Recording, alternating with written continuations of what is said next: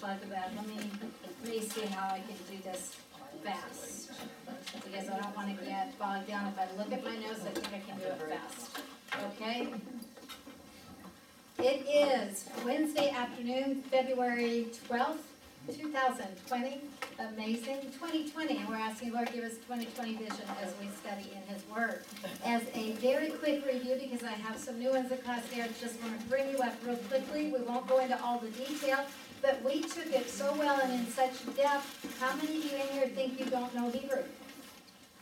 Good, no hands went up, because if I say Bereshit, Barak, Elohim, Shamayim, Ed, Haaretz, uh. I, I need to see it, I need to see it, but Haaretz, uh, Eretz is the last word. What did I just say? In the beginning, God created the heavens and the earth. Now, we've been going through that study, we have seen that, that Genesis, Bereshit is the beginning of much. I won't go through the whole list, but, but just, obviously, it's the beginning of our universe as we know it, our atmosphere, our solar system as we know it, because we'll be talking about that today, that's why I pulled that out. The beginning of man, the beginning of marriage, the beginning of all kinds, everything that we think of, the beginning of the people that God was going to channel through and bring salvation to. The purpose of this is not to tell us how the heavens go, but how to go to heaven. We've seen scientific evidence that has just absolutely blown our minds to what a wonder of creation God has made, that the heavens literally cannot be measured, as scripture says.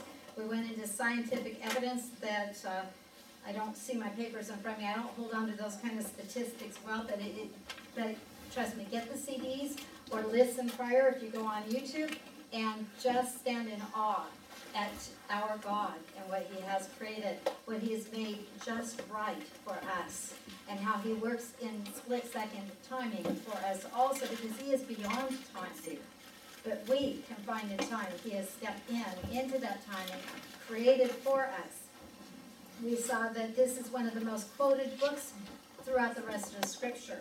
We also talked about how everything begins in Genesis, everything ends in Revelation, that this is like where all the trains go out, and Revelation's where all the trains come back in. So we're going to see a completeness in our study because we will take it and look where it is even in Revelation. We talked about the historicity of it, how it is proven to be fact.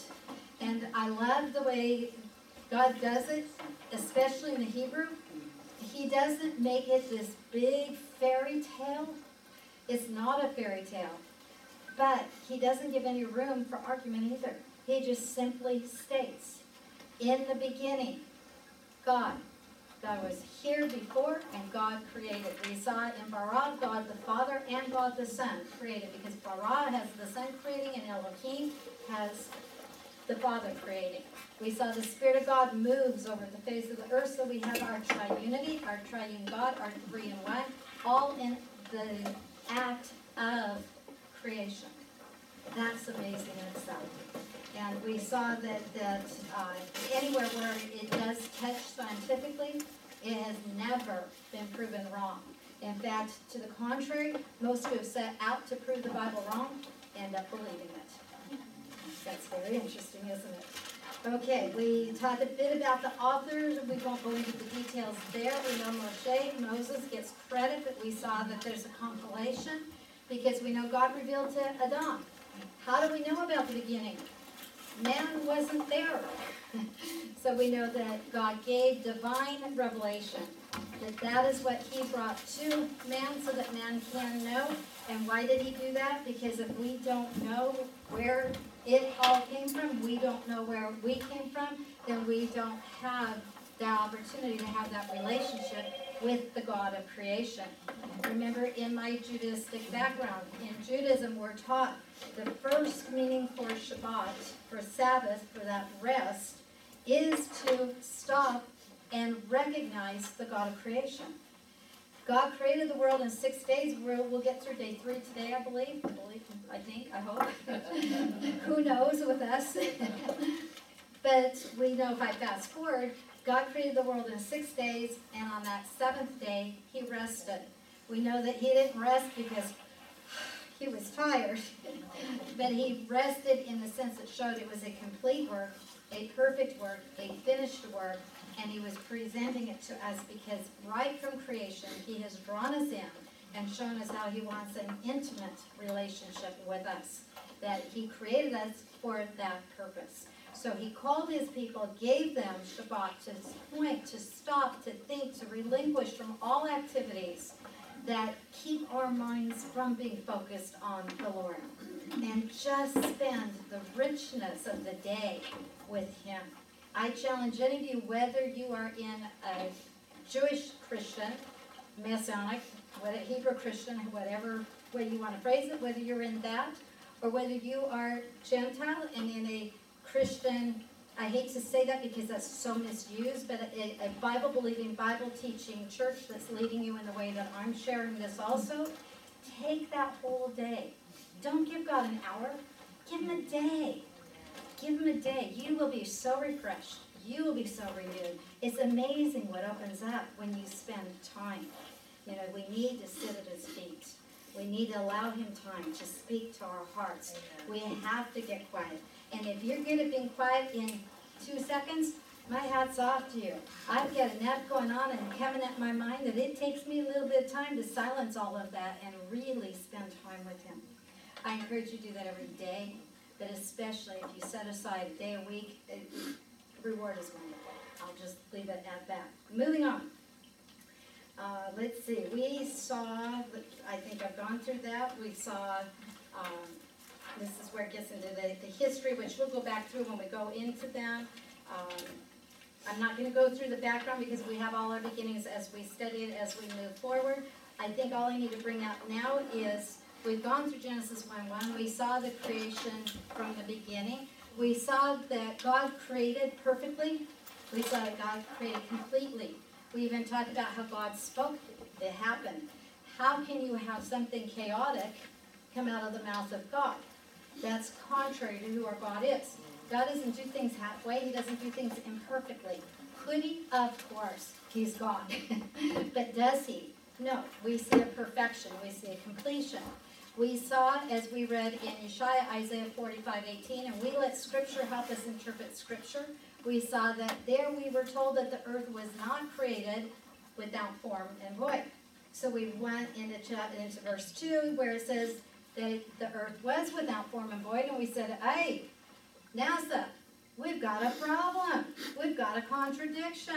We can say to all those people, oh, you were right, there's a contradiction in Scripture. And we left it there, right? Right? No. No. Anytime you think there's a contradiction in Scripture, you dig deeper. You get into the meat of the word and you will find the answer.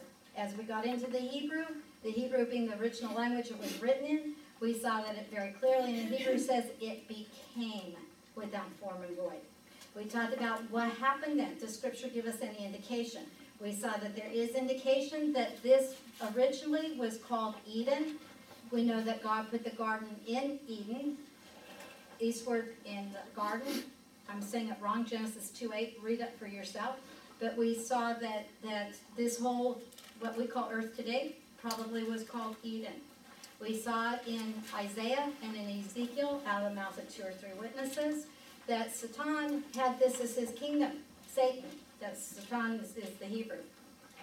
When he fell from the grace with God because pride was lifted up in him, I want to be the most high, I want to be worshipped, I want to be like God, I want to be God. That brought him down, it brought judgment on him. He's still the accuser of the believers to this day. He's still fighting to get his kingdom back, but he lost this kingdom. We saw that it went through a judgment. What was on the outside, beautiful, the, the gems and, and all the description was gorgeous. We know we find those things in the core of the earth today. We mine for those. How did they get from the outside to the inside? Well, if God brought a judgment, if God brought water over the face of the earth so that we have the waters needing to be divided, we need to be able to see the dry land. We begin to see in the, the next two chapters, we're going to see times when God created out of nothing, times when God made something come into our atmosphere in the way that it works with us today. We'll look at the differences in those actions even today and what we'll be studying as I get past the review. But we, we know God uses water as a judgment in Noah's day. So it's no strange thing to think that he could have used that type of judgment. And that that is what brought the earth to no form and no void, uh, no form and void. So that it's a recreation in essence, a restoration, as God made it inhabitable for man. Then created man and put man in the garden eastward.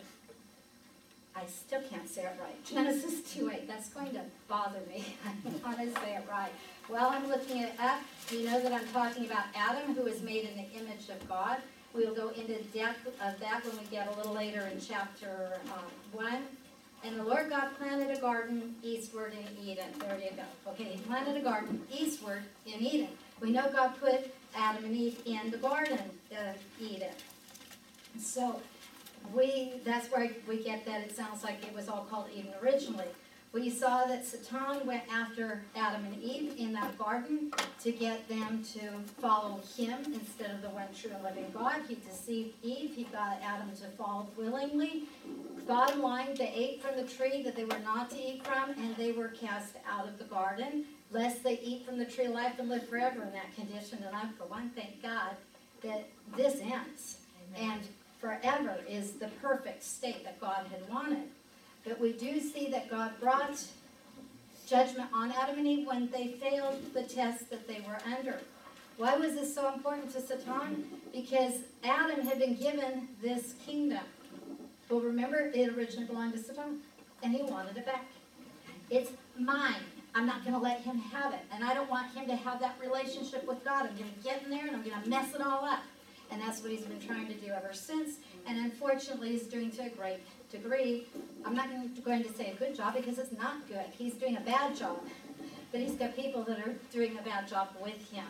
Thankfully, again, this will come to an end. It is not the final chapter. We know that from our scriptures.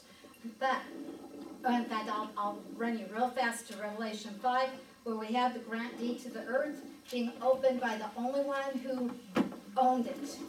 That one who owned it was the one who looked like the lamb who'd been slain, but was also the lion of the tribe of Judah. Judah. He looked as if he had been slain because he had been. He had given sacrificially his own blood to buy back Adam, Adam. And in that, where Adam represented the whole race, his blood buying back Adam was representative of the whole race. He took his perfect sinless blood, placed it on the mercy seat in heaven that the earth would have been patterned after, and opened up heaven for us to go eternally and live with the Lord forever because our sins are forgiven in the blood of Yeshua, the slain lamb, who was now victor, is the lion of the tribe of Judah, who Hallelujah. looked as if he'd been slain because he's not dead. We serve a risen Savior. Hallelujah. He is alive and he is powerful. He is almighty, and this was all part of God's perfect plan. It wasn't a oops, and it wasn't a what am I going to do now, and how can I redeem? It was planned. God did not plan it for the angels who followed with Satan. He did not plan it for Satan, I believe, because they were in the very presence of God for who knows how long, seeing God in a way that we don't. And I think because of that, God had mercy toward us. He did not have toward the angels. I'm so thankful for that mercy. I am so thankful that mercy is new every day. We'll move on from that. Now that we've set that background real well, that we looked at, now we're looking at this restoration because God is going to put man in this kingdom, but He's not going to put him in the kingdom while it's without form and- and while it's void. He's going to make it beautiful for them. He's going to make it inhabitable for them. And so we looked at, can I get to it? Okay. We looked at the darkness was over the surface of the deep, and I need to remind you today, especially if we get that far, what that darkness meant. When we have the darkness, and then we have, um, okay, and that, this is coming right into where we're going to move into today. We had the Spirit God move over the face of the waters. We talked about it was hovering, brooding. It's like mama bird over the nest for her babies and, and preparing for her babies and, and doing what they need was like what the Spirit of God was doing as He hovered over the face of the earth. We're going to see that the, the dry land is separated from the waters. We'll go into that in detail. But right now, we're in the part that tells us that darkness was over the surface of the deep. We saw darkness as judgment. That's another reason why it indicates to us that it was the waters of judgment that came on the face of this earth. That God now is restoring, and He said in verse 3, and we started this last week, but this is where we will pick up today. So I hope I've done everything I need to in review.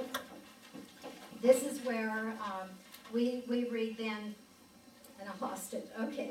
Then God said, Let there be light. Okay, so we have the darkness being a judgment. We see that uh, darkness is not, um, okay, it, it was an emblem that would reflect Satan in, in essence. We saw the angels that are kept under the waters of darkness until they will be judged. There are those who are so bad that God has reserved them there. Jude 6 and other places teach us about that. But we see now that God's not leaving it there. His Spirit's moving over the surface of the waters. And in verse 3, then we'll pick it up. I guess, I guess from there, I think I've covered it. With, first of all, God said. We stop right there and let that impact hit us. God said. Whatever God says, that's it. Like I say, the Hebrew is very simple sometimes, very, someone called it bald almost, that it just doesn't, it gives no room to argue whether God existed. It gives no room to argue how creation came about. It just simply states it as fact and it moves on. Well, God said that's the power of his spoken word. What is God's word? Well, that's what he said, yes, but when, when we look at the word in scripture, he just said, the word is Yeshua Jesus. Remember Yochanan John 1 1. In the beginning. Hmm, I think that's where we are. We're in the beginning. In the beginning was the Word. The Word was with God, and the Word was God. Obviously, that doesn't mean that God had a book. There's something alive there. There's something connected with God from the beginning. We know before the beginning, because we know even before the foundations of the world, God planned and Yeshua, Jesus, carried out our salvation because we were saved before the foundations of the world. For God so loved the world. Yeah, I sent you around a Valentine today telling you God so loved the world. That was planned. That wasn't second thought. This shows us they were both there in the beginning. It shows that it is His Word. As someone said, and I like this, it's not perfect. So you'll find little loopholes, but overall, you know, nothing's going to represent our God perfectly. Nothing. But we said the Father is the source of all things, the Spirit's the energizer of all things, and the Son, or the Word, is the revealer of all things. And what better way to reveal to us than in the Word? So we get His Word in the Word. Word was with God, and the Word is what God spoke. So God spoke, and it came into being. And where did I go? Okay, I guess that's my review. Pardon me. There we go. I wish I could remember it all. I use notes because I can't remember it all. Pray for my brain. I'd love to have it expanded. I'd love to be able to keep it all. So, what did God say right in the beginning? He said, Let there be light. Now, notice the phrasing. God doesn't say that He's creating light, He says, Let there be light. See, the original creative act is not what's implied here. And we, we see that. Remember, we're going to look at differences. When something's created out of nothing, it's bara, and I'll bring that out. When it's made, it doesn't mean it was created out of nothing. He may have taken matter and created something. We have to look and understand if light and darkness are in day one, then wait a minute, we get the sun, the moon, and the stars in day four. How did we get light and darkness? Are they in existence then? No, it doesn't seem to indicate it in that way, at least not in play with us. So here the idea is that the light was made to appear. It was made visible. It was something that was there that God's brought now into play, so to speak. Jesus was the light. But Jesus absolutely is the light, absolutely. So even as he was the Word, he is also the light. And yes, it could easily be his light shining. The only problem is where we'll fall short again is his light dispels darkness. There can't be darkness, and yet there's still going to be darkness because God's setting into motion what we are going to come to know as evening and morning and day one and day two and, and so on. God speaking alone does create energy. His voice, his words, boom, it happens. It's set into motion. We know that. And because God is light, this energy would be light. We see that. Let's look at 1 John 1 5, because again, I like scripture to interpret scripture. So we go all the way to 1 Yochanan, almost at the end of our Bibles. Oops, chapter, went the wrong chapter. First John chapter one and verse five, and we read, This is the message we've heard from him, and we announce it to you. God is light, and in him there is no darkness at all. So see, that's why his light can be coming into play, but there's something a little different here because we still have darkness. And we wouldn't have darkness if, if it was just, if, if the light of Yeshua was it entirely. I mean, he's, oh boy, it's so hard to say this. I hope you're understanding what I'm trying to convey. Because believe me, as I study to teach, I need a better scientific mind.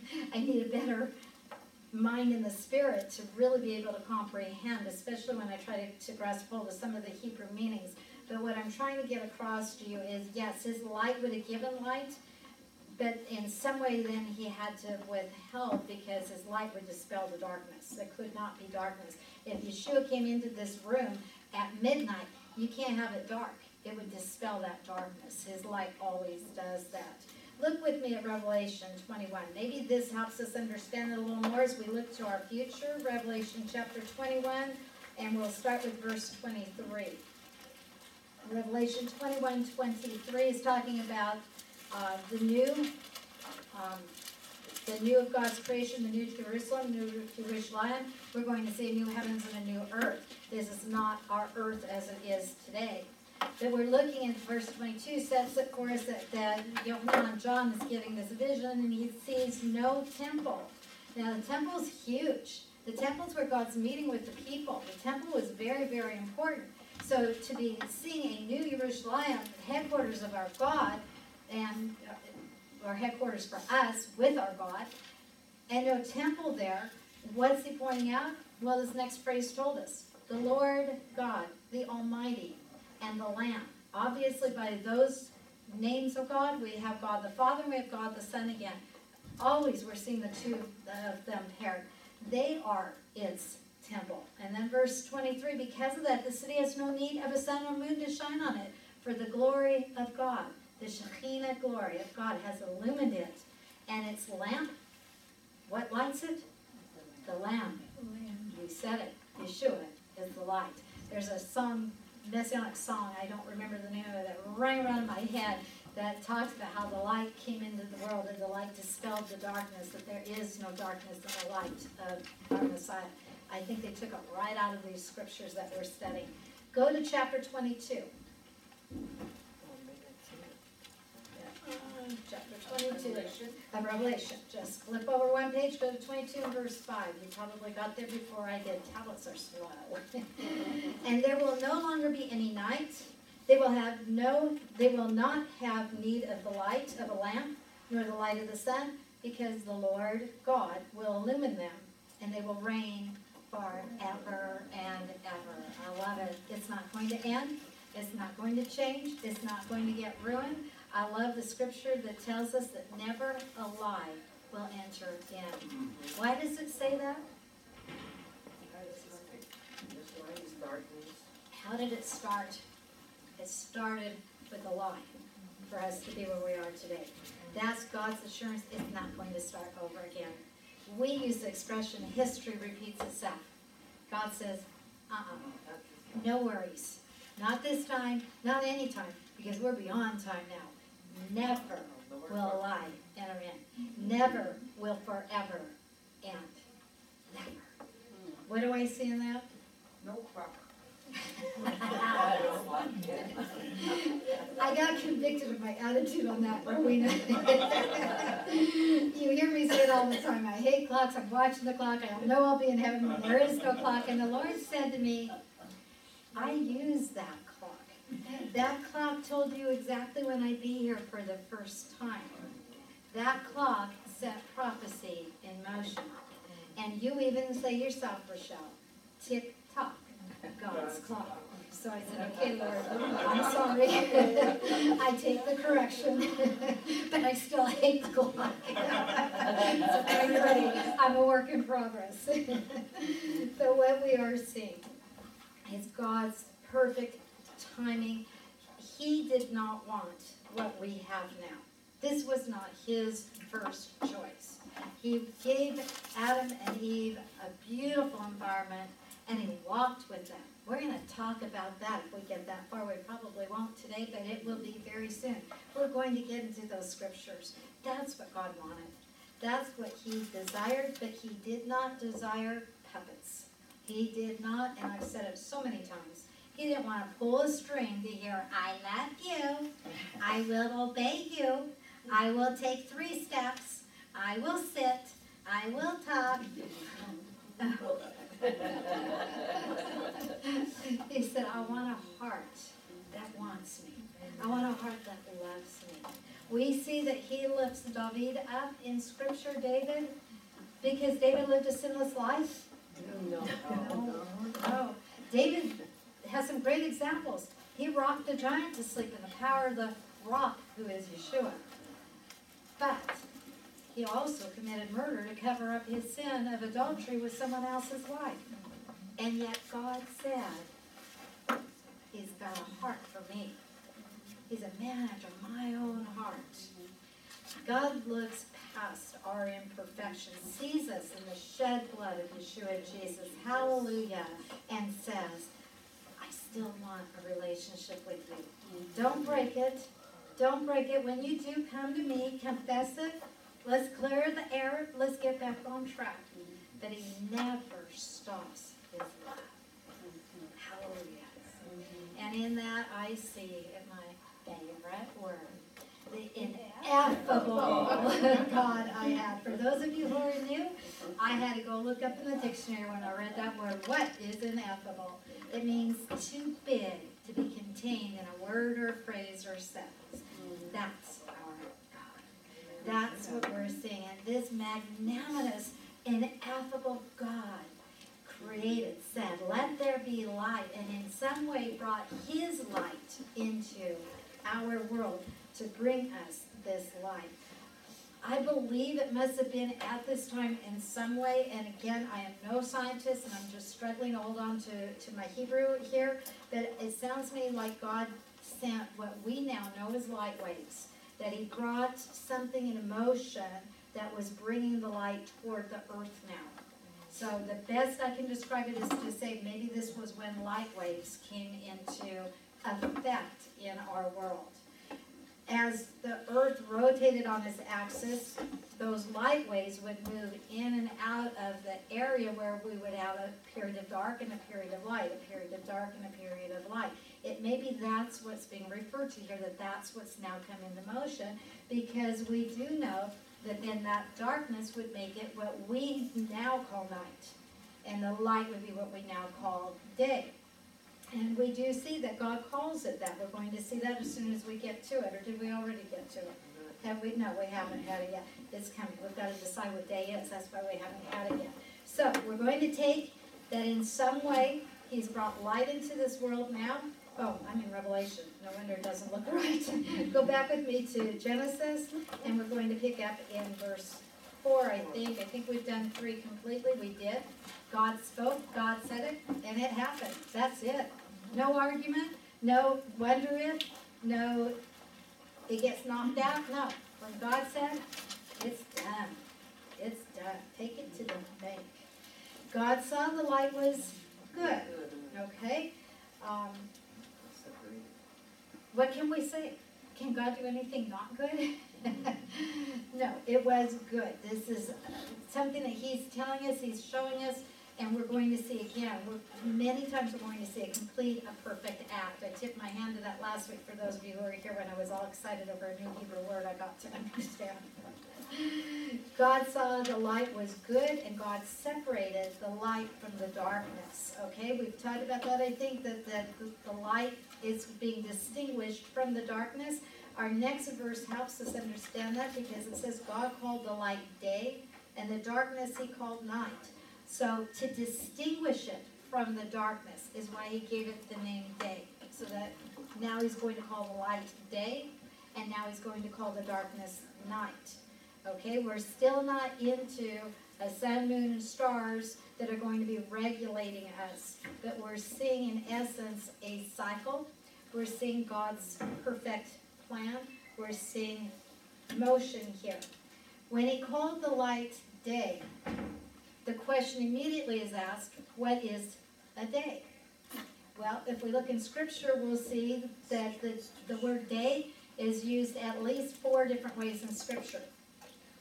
The first one I'll bring your attention to is that it's part of a solar day of 24 hours, which is light. Okay, we have light, we have day, we have a 24 hour period because when it's not light here, it's light somewhere else. The light didn't go away, the sun doesn't go to bed, it doesn't pull the covers over its head and we don't see anything anymore. It's still shining. We're just not in relation to that sun to see it. So we see a period of time. If we want to go evenly, we can say 12, 12 hours day, 12 hours night, because we're accustomed to a 24-hour day. Let's look at scripture and see what I'm referring to. Go with me to Yochanan, to John chapter 11. There we go. Yochanan, John chapter 11. And we're going to look at verse 9. John 11, verse 9, Yeshua Jesus is speaking, and he's answering a question that came up uh, before him. And he said, Are there not 12 hours in a day? If anyone walks in the day, he does not stumble because he sees the light of this world. But if anyone walks in the night, he stumbles because the light is not in him.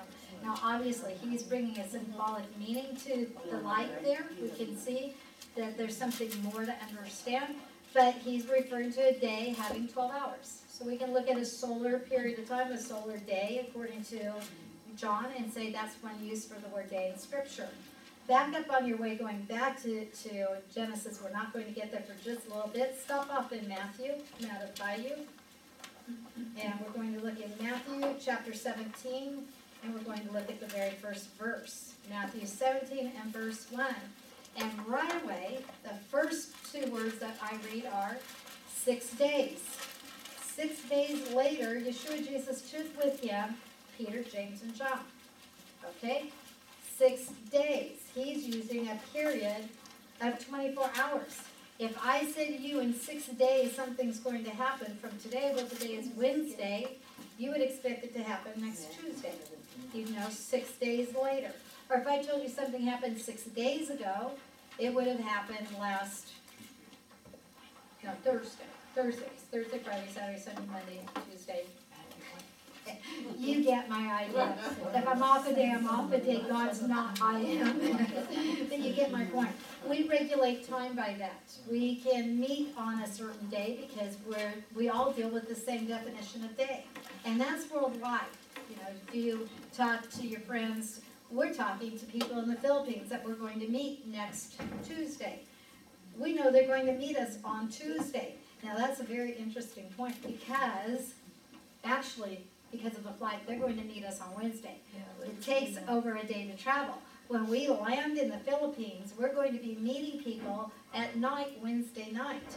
But guess what, for you all here? It's still Tuesday.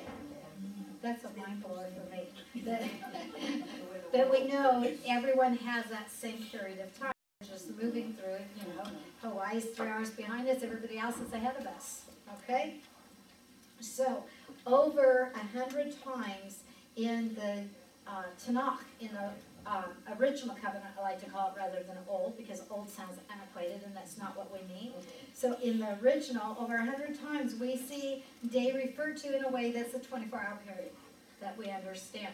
When we understand how many days it rained, forty days, forty nights, that's forty days and forty nights. If we started marking, let's say from January one, then we know it would go into February before that stopped. When it says it's hundred and fifty days before the water subsided, it was hundred and fifty days. That's roughly five months. 30, 60, 90, 120, 150. That's how I got that, okay? So we see that many times in scripture. Now we also see the word day setting something apart for a special purpose. The easiest and quickest to see is the Day of Atonement, Yom Kippur, that I've taught you so many times about. I think that you can relate to that. That is a 24 hour period that is recognized. Our Jewish people who are in Judaism only will still, and I'm talking about the religious ones, will still fast for a 24 hour period. To be safe that they not desecrate their holy day, they'll actually fast 25 hours. That way they just got a little buffer on each side so they don't start too late or end too early. But they're dealing with a day. Where do we see that in scripture? Go back, all your way back to Genesis, stop off at Leviticus, the, the third book, uh, Vayikra in our Hebrew, Leviticus twenty-three, and look at verse twenty-seven. Leviticus twenty-three and verse twenty-seven is going to be very specific when this day is. Not only is it a twenty-four hour day, but it is a specific day on the calendar.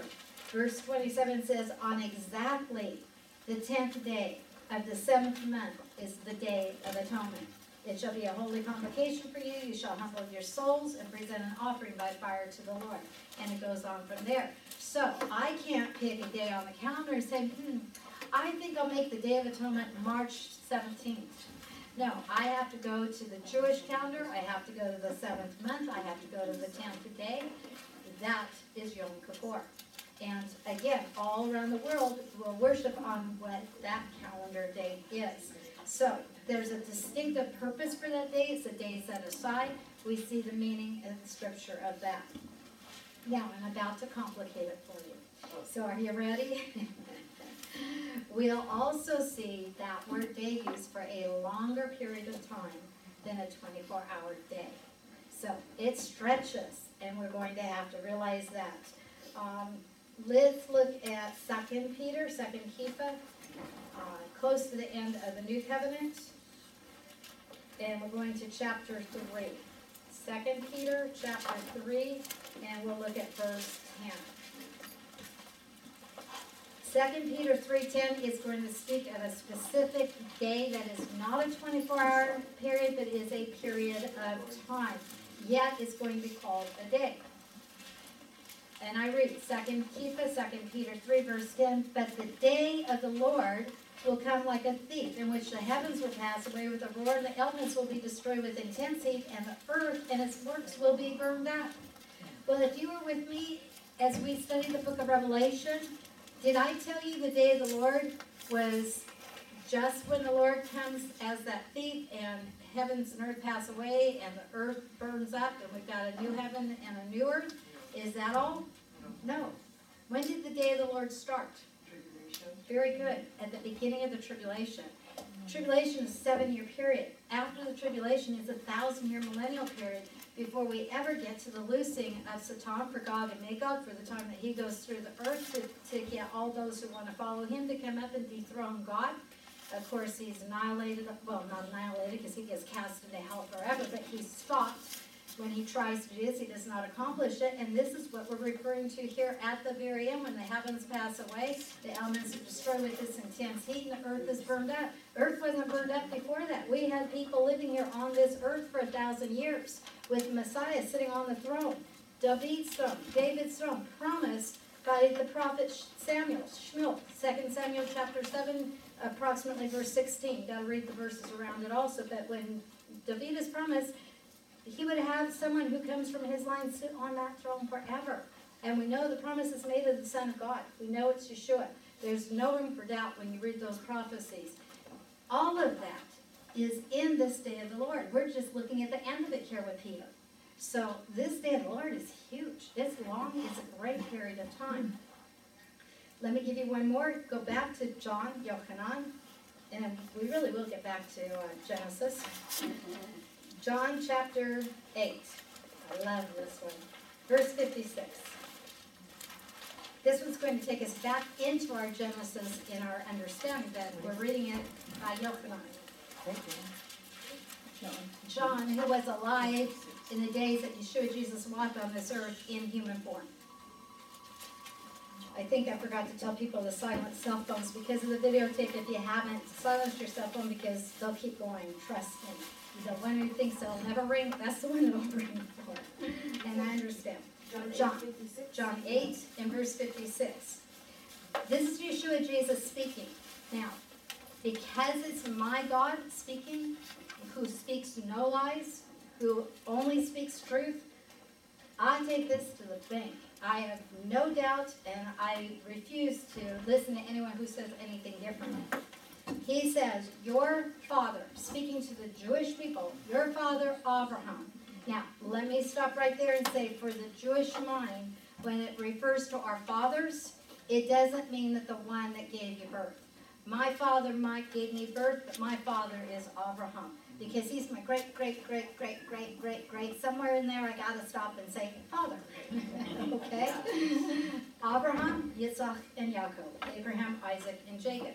Through those three lines, through Jacob's sons, and specifically through Judah, the name Jew comes, but through his 12 sons, we have the 12 tribes of Israel, which everyone who is Jewish is from one of those tribes today.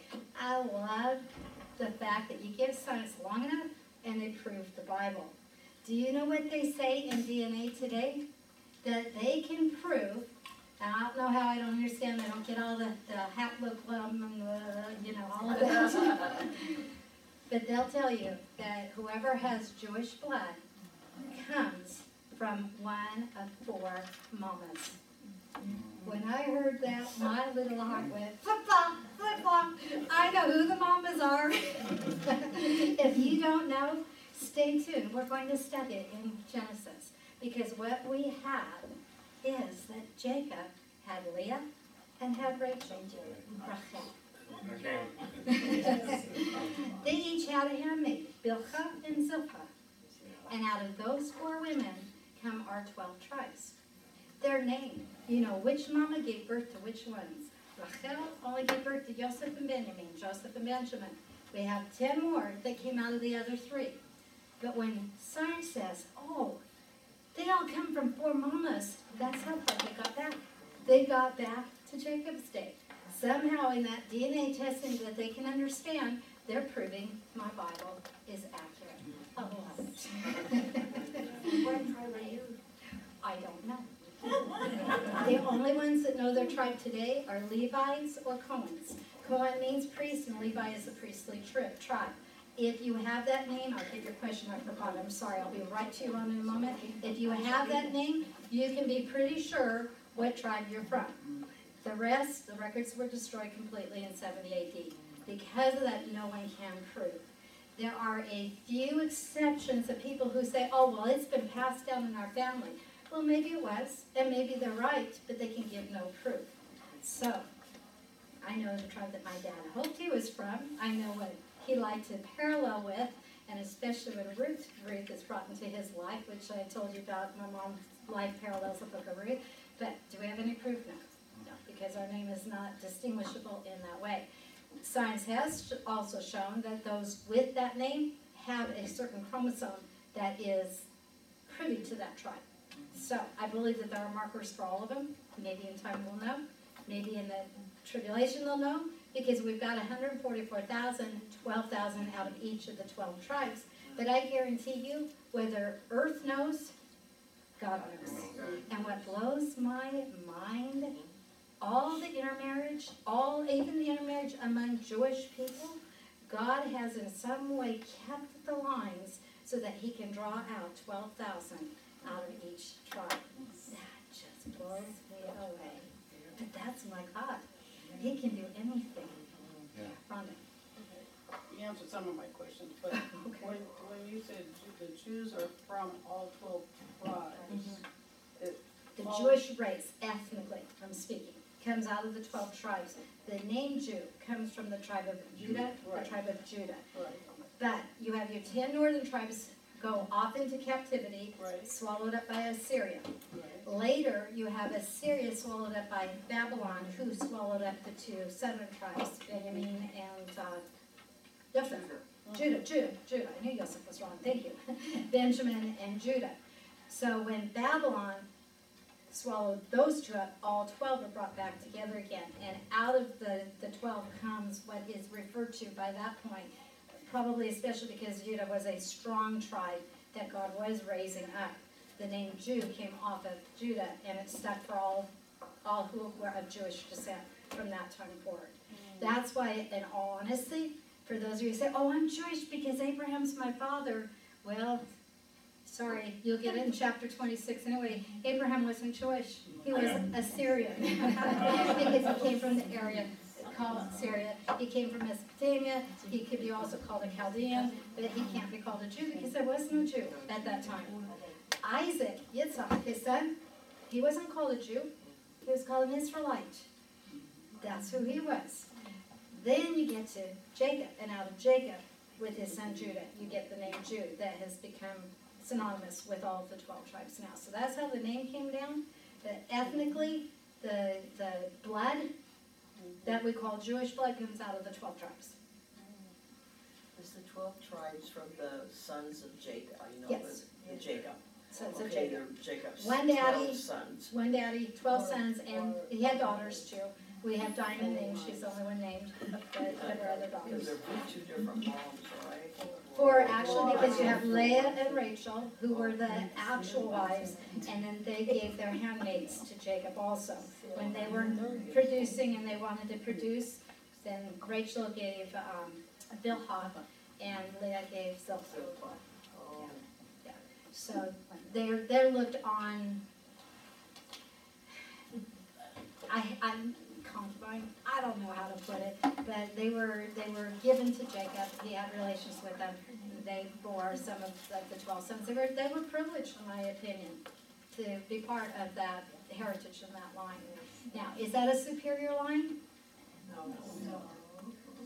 Remember God said, I chose the Jew because you know what? You're the runt. You're the least, the least likely. I'm gonna get the glory. That's why he chose the Jew. So it's no superiority. It just happens to be the order that God chose to take the message to the rest of the world. Because the Jew was given the privilege, but the responsibility to be the priest to the world. What's the priest to do? Represent God to the people and the people to God. That's what Israel was to do. When Israel did it, blessing came. When Israel dropped the ball, they suffer consequences for that. Does God ever say, I'm done? I've had it, had my fill, I'm gonna wipe them off? No, to the contrary. We're even going to study the sun, moon, and stars shortly, I hope. And we're going to see, God says, as long as there's a sun, moon, and stars, I won't make a full end of Israel. Anybody see that full moon this weekend? Yes. Wow. Wow. It was beautiful. Well, there's still a moon. That means they're still in Israel. That means God still has a plan for Israel. And when He's sending them off into captivity in Jeremiah's day, Jeremiah's day, He sends them off telling Jeremiah, buy a plot of land. Mm-hmm. Now, why are you going to buy land if you're going to go off into captivity? Isn't that a total waste? What's God saying through the prophet? Put it in a clay jar, seal it. Guess what we found in clay jars? Our scriptures. Dead Sea Scrolls, Book of Isaiah in completeness, and partials of everything else. It's amazing. Clay jars sealed and held and protected and kept. God was saying to your Jeremiah, You're not going to come back. But down the line, they're going to come back. And here's their claim to this land. We have God saying the people are going to return. And if you doubt my words from that, go back a couple chapters, because that's chapter thirty-two where he tells Jeremiah to buy the plot of land.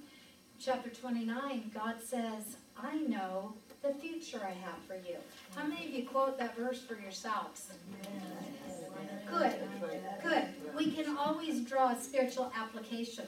But who was it said to in context? To The ones in Israel. to Israel who's going into captivity. I know the future for you, a future that's good, a future that has a hope, a future that's going to go on.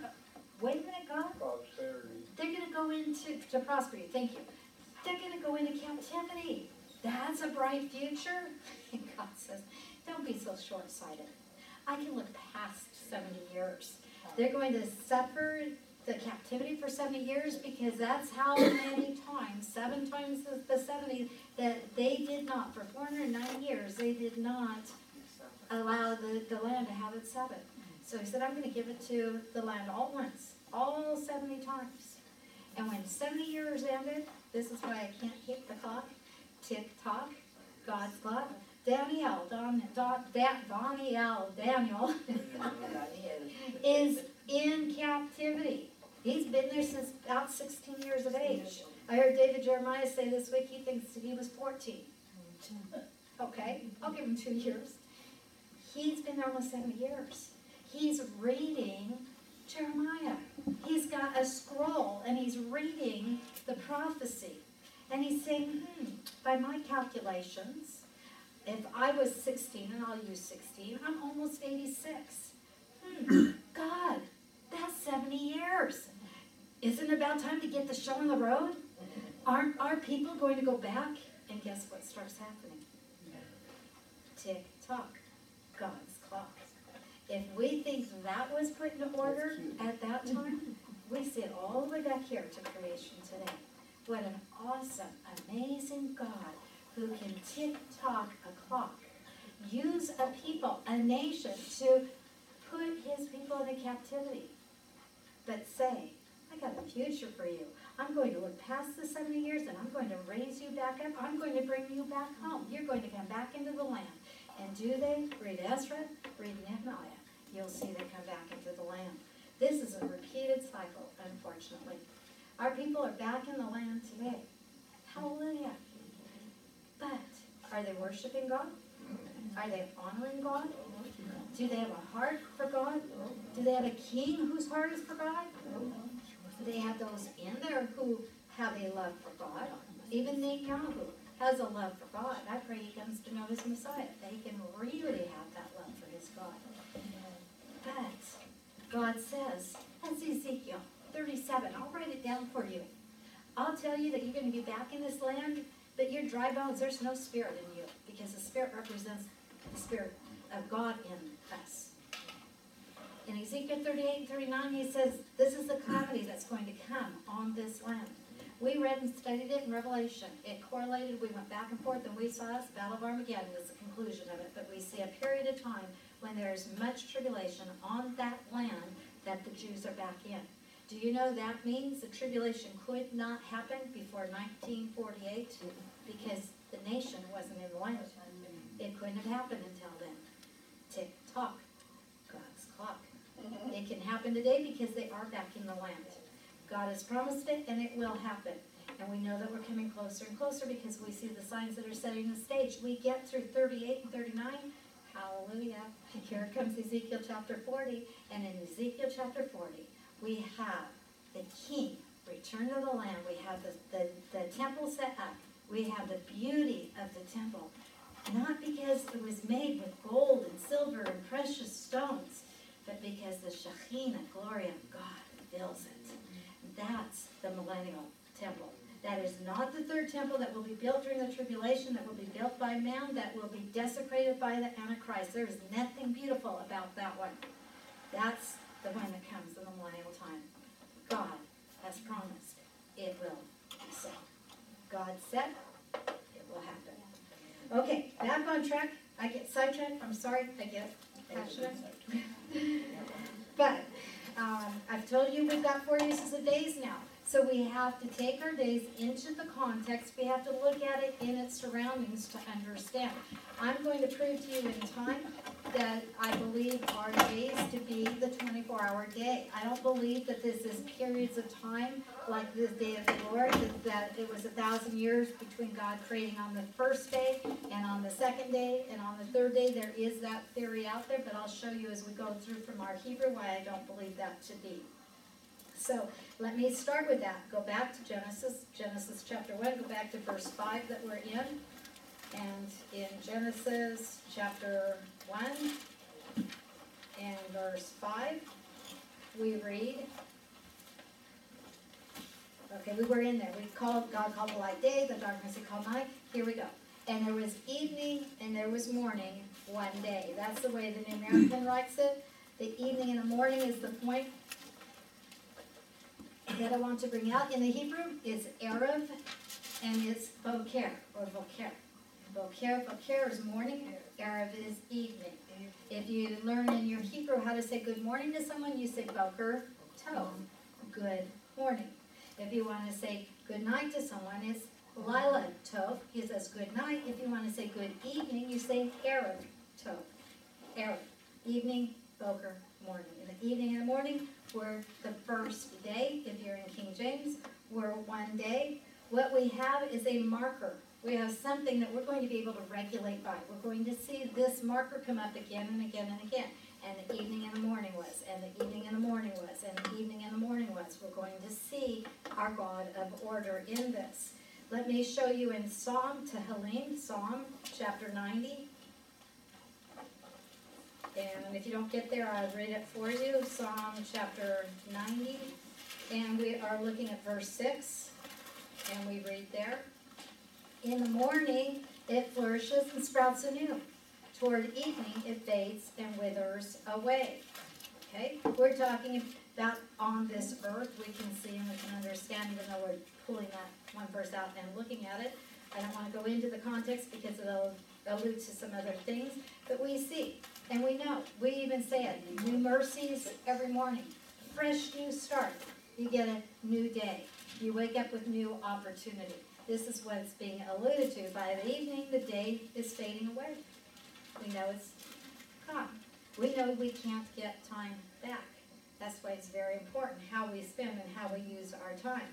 Now, the Jewish people, oh, and, and that gives us the idea of a solar day again, the day, the night, the solar day, okay? Um, the Jewish people begin their twenty-four hour day with evening, we know that. We know that they start with the evening, Shabbat is sundown Friday, goes to sundown Saturday. When they can see three stars in the sky, they consider that it has ended and it's the start of a new day, even though it's evening. That's the way that they refer to it.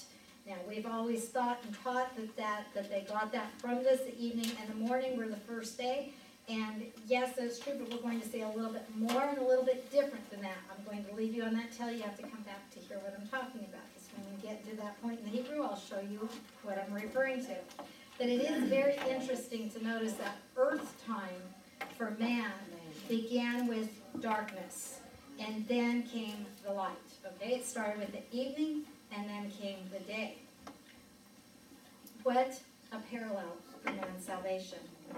We start in the dark and we come to the light. I think we can see and draw that picture from this. Okay, darkness, remember the judgment, light is salvation. Okay? Uh, the darkness period, the light period shows that the earth is rotating on an axis now. Because the rotation on the axis is what gives us day and night. It's not the elliptical, the on its axis. And this is one reason why I do believe that we're talking about a twenty-four hour period, not a long, like the day of the Lord, because we don't seem to see in here a period of time. We don't seem to see a geological age. We don't seem to see a separation. We seem to be being drawn to the fact this happened on the first day, this happened on the second day, this happened on the third day. And I'll just dip my hand and get all the way to the end. When we get to the end and we have God rest, if it was like each day was a thousand years, then God would have rested for a thousand years. That would have been the first Shabbat. And if we have to pattern ourselves after God, then how on earth are we going to rest a thousand years? That's longer than my lifetime. I could never get up and work. I couldn't do anything. I couldn't even be born because my folks couldn't be doing anything. so even by his example of his stopping and, and resting to give us that example and to have us set aside a, a portion of our week, it looks to be a specific 24 hour period of time. Okay, we'll keep building on that, just giving you the reasons that we see so far. Um, Let me give you the proof of Shabbat, go to Shemot, Exodus, and we will go to chapter twenty and look at verses eight through eleven. I do this because I don't want you ever to think I'm just saying, this is my idea, I want you to see, I draw this from scripture, it's how I see and understand scripture. So, when we're talking about the Shabbat, Exodus chapter twenty, Shemot chapter twenty gives us our regulations about Shabbat. It tells us, remember the Sabbath day to keep it holy. Boom, commandment, God's telling us, remember the day to keep it holy. Then he says in verse nine, six days you shall labor and do all your work, but the seventh day is a Sabbath of the Lord your God. In it you shall not do any work, you or your son or your daughter, your male or your female servant, or your cattle, or your sojourner, that's visitors, Gentiles, who stays with you. For in six days the Lord made the heavens and the earth, the sea and all that is in them, and rested on the seventh day. Therefore the Lord blessed the Sabbath day and made it holy. Now, in reading that, is there any room for the day to be the thousand years or greater? There isn't, is there? It sounds very clear, taking it at its face value. Work for six days, rest for a day. Work for six days, rest for a day. No one's to do any work in the examples given. God created the earth, the heavens and the earth in the six days, the sea and all that's in them. Then he rested for that seventh day and blessed it and made it holy. Here's our stop. Here's our, take that blessed day, that holy day, and spend it with the God who created everything for us. So he rested on a Saturday, Saturday, not Sunday. He rested on what would be called the Shabbat, the Sabbath, according to Jewish scripture, and we know that that's who he gave the Sabbath to. That would be Friday night to Saturday night, sundown. Does that mean that you can't worship on Sunday? No. What does old Paul say in the New Covenant? Pick a day. Honor me for that day. Set aside a day. He didn't get hung up on which day. We have a number of reasons why there are those, the, well, let me just put it this way, the established Christian churches, and I use the word Christian in its literal, the ones who really do follow the Lord, often will pick that day believing that that's the day the Lord raised from the dead, and they want to honor and remember that, so they put that into motion. There's a whole lot of argument of how it got separated. There's a lot of sibling rivalry, rivalry between Judaism and early Christianity. There was a bumping of heads, there was a disagreement, there was, oh, if you're doing this, you're doing law, and you can't do law now because you're under grace. We could discuss this till the cows come home. Because Saturday, uh, Jesus was. If you follow the Gentile calendar, but if you follow the Jewish calendar, it gives good evidence that he raised before Sunday. He raised before Sunday morning. Yeah, according to the Jewish way of thinking, yes, because you have a different way of approaching the days. Now, I'll tell you, great scholars argue it. They're on each side. I will tell you that there are those who say that the Lord was crucified on a Wednesday, on a Thursday, and on a Friday. And they've all got good points. I know where I've kind of landed, but can I say hundred percent, oh dogmatically, I know that I know that I know? No.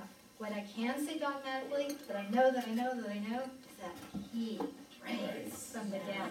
And I'm going to take a day and I'm going to honor my resurrected Lord. In my Jewishness, yeah, I will recognize Shabbat, but I don't recognize it in a way that I'm conformed to a law and I can't pick up a stick and I can't drive to Shabbat, because I do. I get in my car and I come. That's, right there, I'm in trouble with the Orthodox, because I've used the motor, I've used, you know, servant. They carry it to the point, they should not even flip on the light, because that light is their servants. They're not, their servants aren't to work, remember? So, I am not keeping it in a law way that puts me under a heavy burden. But am I keeping it in a way that recognizes my Jewishness, my Shabbat, reminding me that my God created this earth? And the second reason given to my Shabbat, according to the scripture, comes out of Shemot, out of Exodus, when they came out of Egypt. Then it's also given that meaning. So on that day, I'm to remember both. every Shabbat, I should stop and spend some time focusing my mind on the fact that this magnanimous God who created this entire universe and the glories that even have yet to be discovered is the same God who had his hand on my people, that when they cried and moaned and groaned because they were being tortured and beaten and whipped and suffering and finally cried out to God, he in his mercy raised up Moshe, Moses, raised up a leader who he used to work on Pharaoh to let his people go. And as they came out and kept a ceremony that is so precious, and we're coming soon to it, called Passover, in that I see one of the best pictures of my Messiah, the Lamb of God, that you could ever hope to see. And my people every year have had to keep that and look at that picture. And every Shabbat should be looking at that picture. What's God shouting? Messiah saves. Jesus saves. I want a relationship with you. I did it all. I sent the perfect Lamb of God who came to take away the sins of the world. Remember when he came on the scene in ministry for the first time? Yochanan John said, Behold, the Lamb of God who takes away the sin of the world. Every Jewish mind should have gone, Lamb of God? Lamb of God? Okay, I, every Shabbat, I stop and think about that lamb. I remember that lamb being promised. But he doesn't look like a lamb. He's not woolly all over, and he's not on all fours, and he's not going back, back. Why is Yochanan calling a man the Lamb of God? And then I watch it. Why? Oh, wow. The only one who could do these miracles has to be the one that comes from God. Nicodemus said that. Scared to be around his peers, went privately. You have to be from God because no one can do these miracles you're doing except they come from God. And he's introduced to the fact that he can become a new creation, a rebirth in the blood of the Lamb. We see all the fulfillment through Passover. Isaiah 53 jumps off the page. Psalm 22, 700 years before crucifixion, is a mode of execution. Gives the picture so clearly that my beloved Jewish rabbis say, yeah, that's the picture of crucifixion.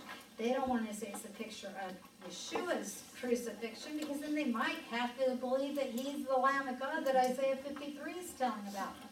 But if he's not, my dear beloved Jewish person, then who is? And if all our records were destroyed in 70 AD so that we cannot prove what tribe we're from, and Messiah had to show he was from the tribe of Judah, he had the right to the throne. He had to be of the lineage of David. He had to be able to show it, and he can show it. Well, he had to come by 70 AD. I'm sorry, but he can't come after 70 AD. So now, dear beloved, study history. Who came prior to 70 AD that fits the bill of the one who was promised? Well, there's only about 300 prophecies given in our scriptures to tell us what he'd look like, what he'd do, what he'd say, where he'd be born. Any of you choose where you're going to be born? Anybody got that power? That's where he gets so excited. He was born where God said he'd be born. So now, my dear Jewish people, you're looking for the Lamb of God, born before 70 AD, had to be born where? Micah, Micah tells us, in Beit Lechem, Bethlehem, in the house of bread. Is he the bread alive? He had been born in Bethlehem. Okay, let's look in our history. Prior to 70 AD, who was born in Bethlehem that stands out on the scene? Well, we have one that they came from the east. And they said, Where is the king of the Jews who's been born? We've come to worship him. Oh, Remember where Daniel lived? Lived in the east. Who do you think taught them? The gospel and the stars, that Abraham saw and believed and it was counted to him for righteousness, which is not that he's gonna have a big family, because when does believing in you're gonna have a big family make you righteous with God? So, we'll go through Genesis 15, 5 and six, and just park there with me for a, a class, because I get so excited, I gotta give it to you in living color, even if you've heard it a hundred times before, I Hallelujah. still thrill to it. It never gets old. It never gets old, and it gets deeper, and it gets richer. Just gets brighter. And brighter, it does, it does, but here's that one that had to be born in Bethlehem. Okay, now I can go through three hundred markers like that. I took you all through, before this class in Genesis, I took you through eight prophecies. Just eight.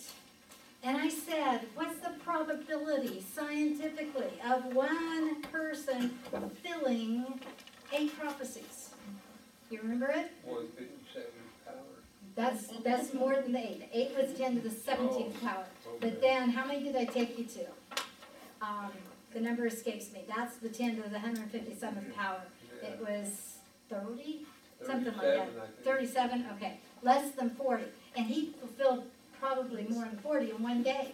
The day of crucifixion, he fulfilled so many prophecies. But that possibility was so off the page of one person being able to do it, that if my Jewish people will honestly look at our prophets, what was foretold, look at it. Now, find me one prophecy, just one, that he didn't do, that referred to the first time, that's not referring to his second coming. But you show me just one prophecy of the first time that he did not fulfill, and I'll throw it all away. I'll say, you know what, you're right, it's all over. There's not one. He dotted every I, he crossed every T in our Hebrew, he, every jot and every tittle was fulfilled. Right down to the mode of execution, to the fact that they gambled for his robe, to the fact that they had the sign above him, King of the Jews, which the Jews were upset about, wanted taken down, but God made it stay because he was King of the Jews. He is King of the Jews, and he will be King of the Jews, and he will reign on David's throne. Hallelujah. Okay, I got way off. Sorry. I hope it blessed you, it blessed me. Okay. But here's what, what, this is what happens when you go to Shabbat. You get to just drench yourself in all of this. You get to just think about all of this. Do we study other scriptures? Of course we do. We study the whole Word of God. It's all there for our benefit. But we should, if we're being glitch, kids, we should spend some time in our minds on the creation and coming out of Egypt. And I can't come out of Egypt without Passover. I can't come out of Passover without seeing my Messiah. And if you want to see Messiah in the Passover, stay tuned. April eleventh. I'll tell you more later. Mark the calendar. I'll let the cat out of the bag. Dosey. It's okay to go Saturday and Sunday. Oh, it is, absolutely. We are a, the one new man. Ephesians two describes that very clearly. Jew and Gentile come on equal footing. I can bring you through the holy days. I won't do that now, but I can show you how the holy days themselves show the, the Gentile coming in on equal footing. Once Messiah has died and resurrected, that's Passover. Go, oh, it shows it. They are equal. They come together. The middle wall of partition that separated the Gentile from the Jewish court, it's gone. It's gone. And in one new man, we are worshiping the one true and living God, the God of Israel. We don't throw out the Jewish scriptures. We don't forget what you call the Old Testament. It is not old. It is not antiquated. It is not done with. It is not to be forgotten. It is your bud. It's your original. It's your beginning. Excuse me, you want the flower? You have to have the bud. What's the root? Yeshua, Jesus. Whether you're Jew or Gentile, Yeshua, Jesus. When Sh- Paul talks about the Gentiles being grafted into the tree, they're brought into one root, one tree. That's who we are. I love the fact I can have two legs. Let's call one Gentile, let's call one Jew. Okay? Can they walk apart? Can they separate? Not unless you split this body in two and it doesn't survive. But can they walk together in unity and come together and worship one God, the same God? When you as a Gentile worship Jesus? That's who I'm worshiping, and I may choose to call him Jesus. I may choose to call him Yeshua. That's his name. That's his Hebrew name. I love to call him by his Hebrew name so my Jewish people can understand he's Jewish. How can believing in a Jewish God and believing in the Jewish Son of God, who fulfilled all of our Jewish scriptures, make you less Jewish? I don't get that. How do you stop what you're born? You can't. You are what you are. You complete your faith. You do not convert. You do not change. You do not turn your back on. Conversion is turning your back on something, going away from that, and immersing in something new. No, I completed. I went full circle. I got it all. And we get to share that together. So whether you're Jewish or Gentile, whether you him Jesus or Yeshua, you're worshiping the one true and living God. You're worshiping the God from Bereshit to, hmm, what's our first four words in Revelation? The revelation of Yeshua HaMashiach. The revealing, the unveiling, the opening, the taking the blanket off, the taking the lid off, the looking at who? The Lord Jesus from beginning to end. Every book in this Bible's about Him. Every book. Pick me a book, you'll find Him there. In some form, some name, some capacity that just keeps coloring our picture. But yes, go Saturday, get the Jewish flavor. Go Sunday, worship God. Just worship Him, people. Just spend time with Him. Get in His Word. Grow in the knowledge of your Lord, your Savior. We take a whole day to recognize the one we love on the calendar. Do you know He wrote us a whole love letter? And some people leave it on the shelf and never open it? Mm-hmm. How sad is that? If my lover's off and he's written me a letter, I guarantee you that's not going to stay folded up and closed. I'm going to open it up and I'm going to read it. I'm going to memorize it. I'm going to know it from start to finish. Well, you know what? I got a peon brain and this is a little bit much for me to get all memorized, but I'm working on it. That's what we should do. Can Gentiles go to Shabbat? Yes. Can Jewish people go to church? Yes. You know what church was originally called? Ecclesia, called out assembly. Congregation is another good word. The Jewish people hold on to that word because they don't call their place of worship a church. They call it synagogue or temple, they call it a congregation. It's a called out people. That's all that it is. The first ecclesia, they were all Jewish. They were the Talmidim, the disciples of Yeshua.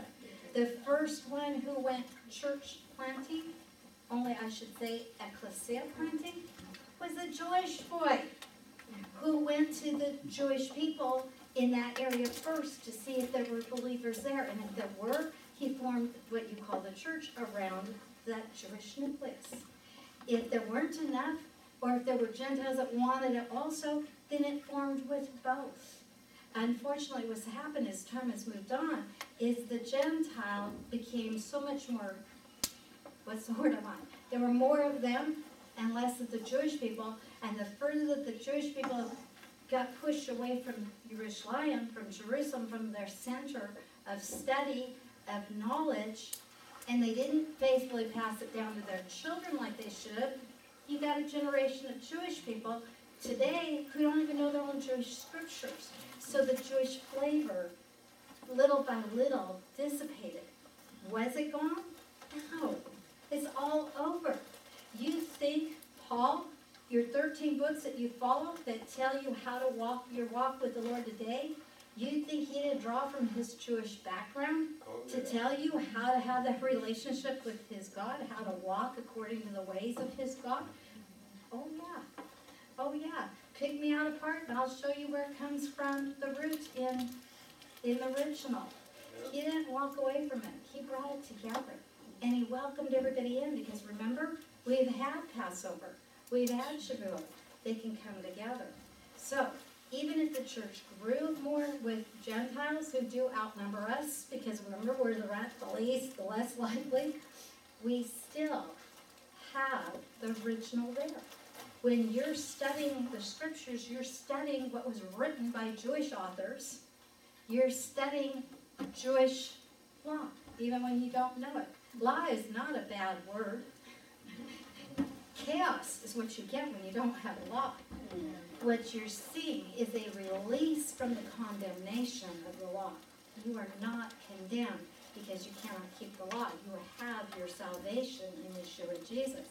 But did he say, oh, okay, now it's okay, go kill, go steal, covet, do with your neighbor's wife? No, it's never okay to fall short of the holy standard of God, which is called the law. So it is one. We have one book, one story, his story, from beginning to end. That's what we have here. We also have, and I love to bring it up, one race. One body, one, one ring. There, one ring. Thank you. Human race. Human race. God loves every one of his creation the same. And you know what amazes me? I'll be brutally honest.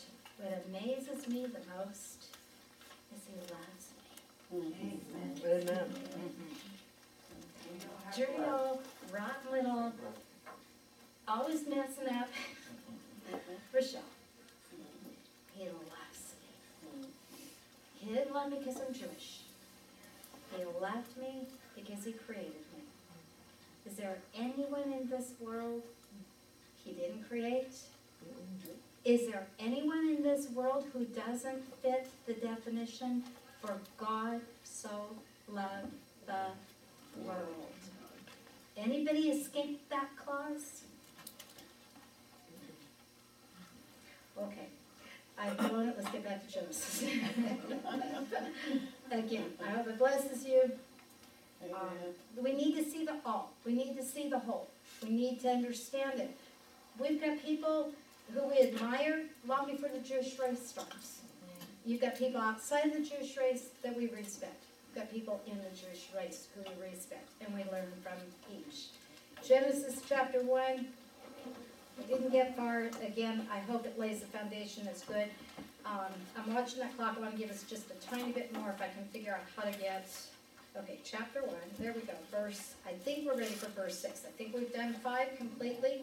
Yes, okay, I think we've, we've conquered what a day is, we're going to come back and visit that, yes, Gary?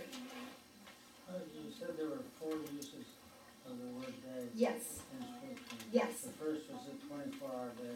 The okay, Second was the special day. Third was the second coming, the day of the Lord's coming. What is it for?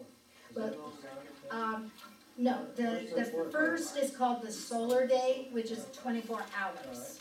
All right. Okay, then the second is, um, um, The twelve hours. it still sounds like a twenty-four hour period, but it's where we see day and night. The special days, like the Day of Atonement. Um, that's, that's our third, a day set apart, like Day of Atonement.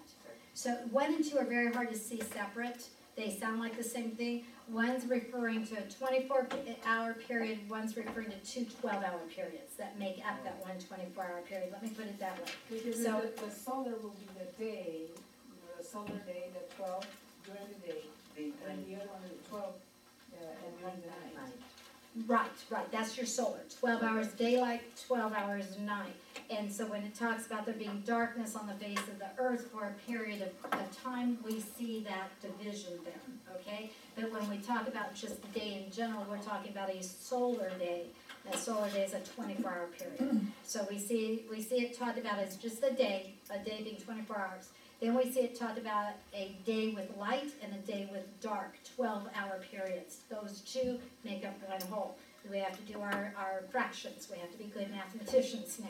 Half plus half makes one whole, so it's still one day, but we see it in two parts.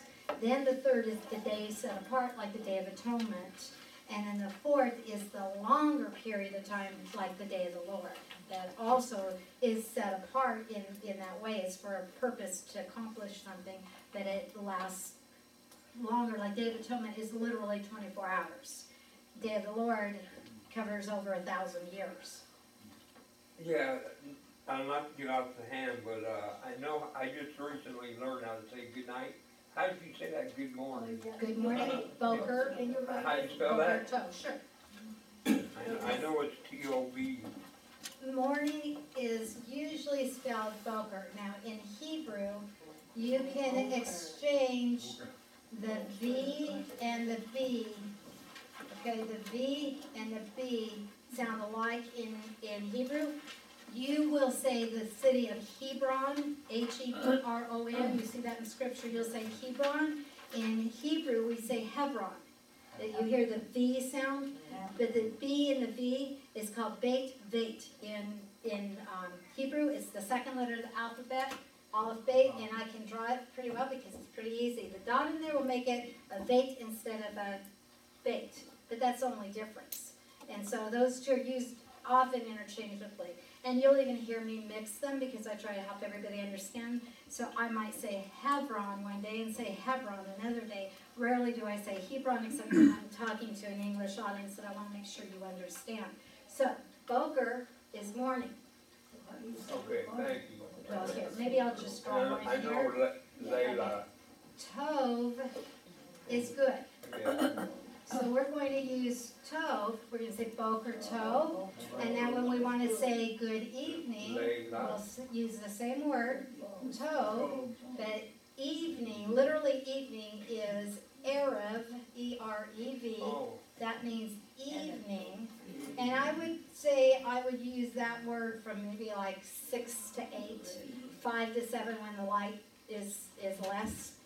But night, if you wanna say good night, like, good like night, nighty night, yeah. good night. Isn't that That is Lila, L I L A. Night. Now, you can see those spelled differently also. I've even seen Lila spelled L A Y L Yeah, A. that's But as soon as I put it up here, you're going to go Layla. Yeah, that's what I. So that's why I choose to go phonetic on Lila. But remember, Hebrew doesn't have vowels. It has consonants and then it has markings. Those markings tell you to go ah, ah, ooh, ah, you know, all the different sounds. So when you don't have the markings, it's so hard to know. And when you try to take it and put it into English, you've got to decide what vowels do I put in there. Well, look at our own English language. I can take EI in neighbor and in, You see, okay, she just took it the other way, because neighbor sounds like A. Receive, it sounds like E, and yet you spell both EI. N E I G H B O R, and, oh, you said receive, but I'm doing believe. No, I can't do believe, I gotta do receive, because it's spelled the other way. Receive, okay? Now we have a long E, here we have a long A. You're getting your phonics lesson now. We've done science, we've done math. Grammar, yeah, we have it all, we're in school, are we not?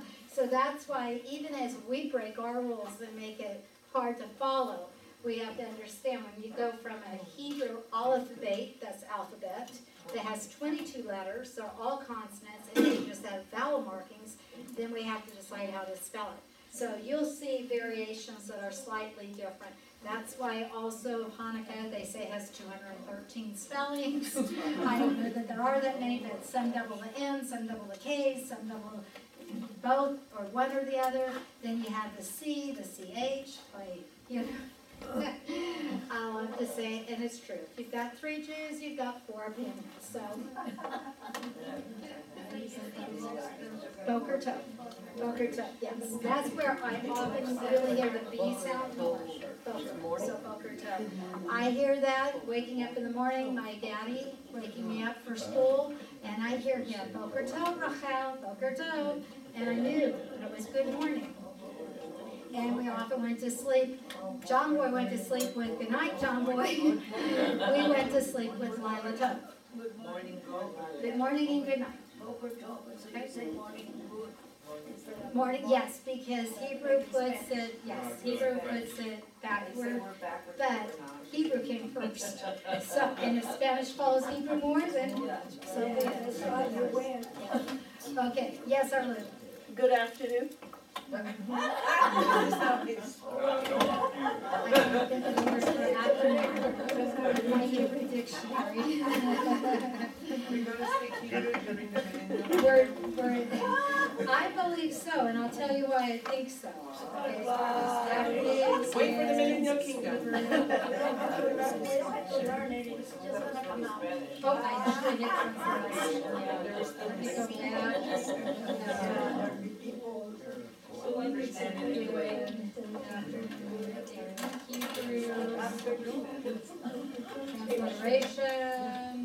it's still not, it's just, I have to read it. I may have to tell you next time I see you, because I'd have to sit down and figure out my Hebrew. I don't know the word for afternoon. It's showing me good morning.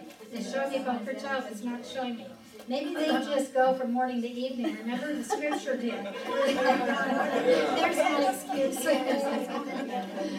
Okay. We will come back, when we come back, remember, but we will come back, we'll talk about the expanse of the waters, we'll talk about the waters being moved and separating. I'm going to challenge you, find out if you can from your English, is the dry land created? Or did the dry land exist? Is it made out of something, was it already made? Can you tell from your English? If you can't, let's go look at it in Hebrew together and see what our Hebrew tells us, because that is the original language it was written in. And I do believe God gave it because Hebrew does have more depth than English, so does Greek. That's why I believe God used those two languages mainly to give us our scriptures. Now, why do I think we'll speak Hebrew? And I wasn't thinking about the millennium, but there too, of course, on earth, you're still going to have nations and tongues and, and all that. But why do I think it is the language in heaven? Because so Jesus spoke it. Paul, spoke to Paul at the grove. Paul knew Hebrew, Paul knew Greek, Paul knew probably Latin, he knew, you know, he was very studied and very knowledgeable. And when God wanted to get across to him, knocked him off his high horse, blinded him that he might open his ears to hear, he spoke to him in Hebrew. yeah. Because that's the language of the Lord. I think so, I think so. Aramaic.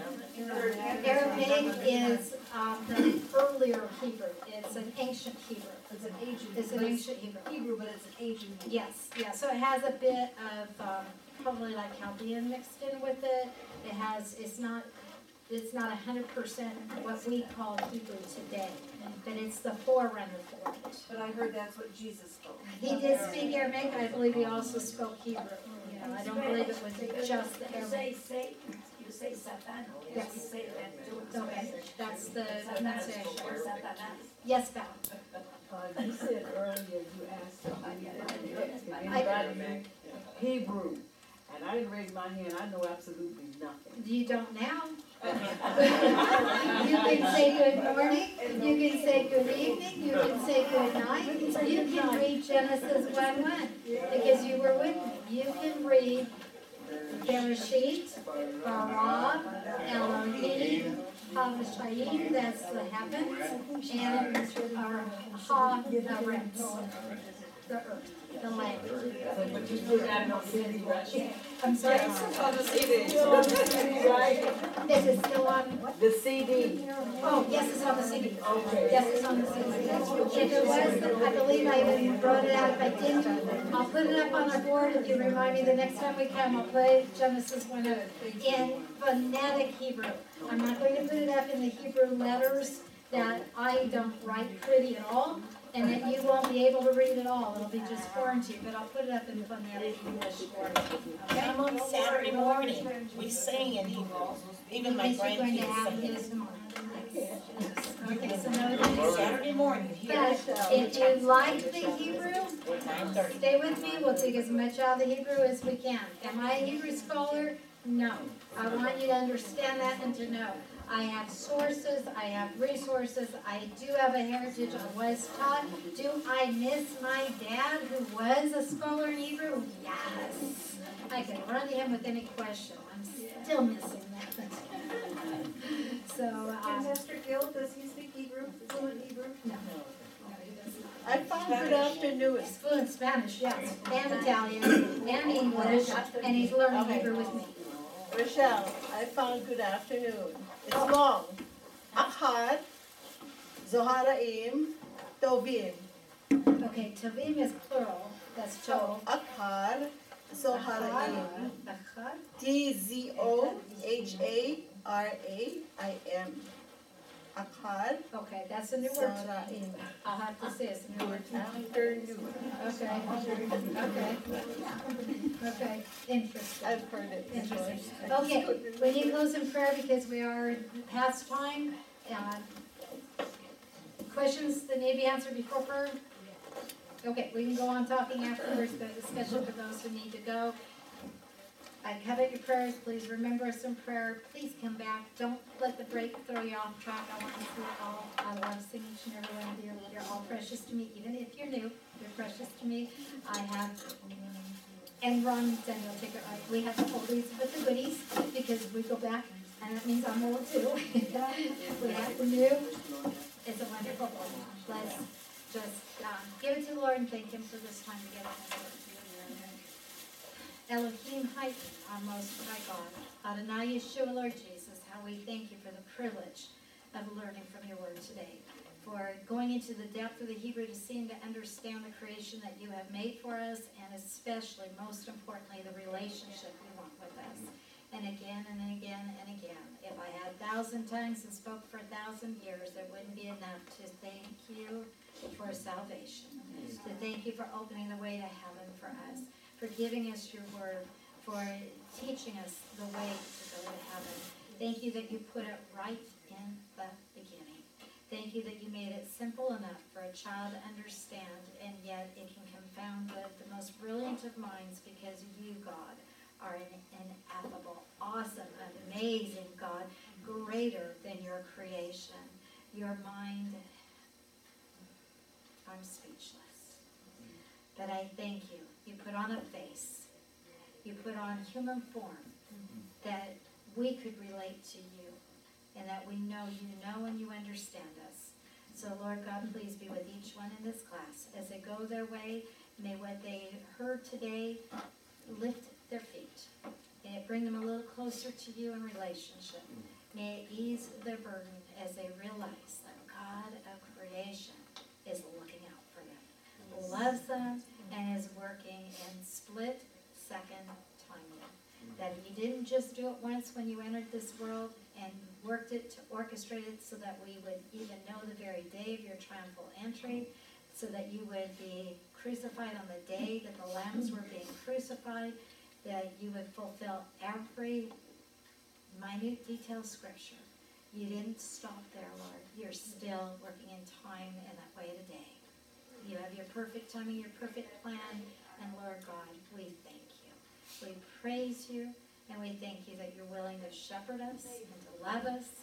We thank you that your forgiveness is good past, present, and future, but Lord, we do, as you tell us, confess to you that our relationship can be reestablished when we break it. And we thank you that your love never ends. Mm-hmm. Lord, thank you. It's not just February fourteenth that you love us. You love us every day.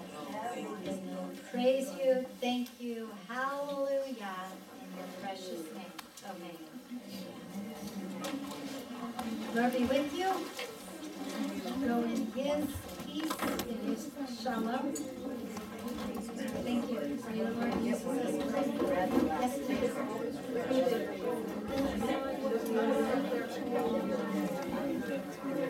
please.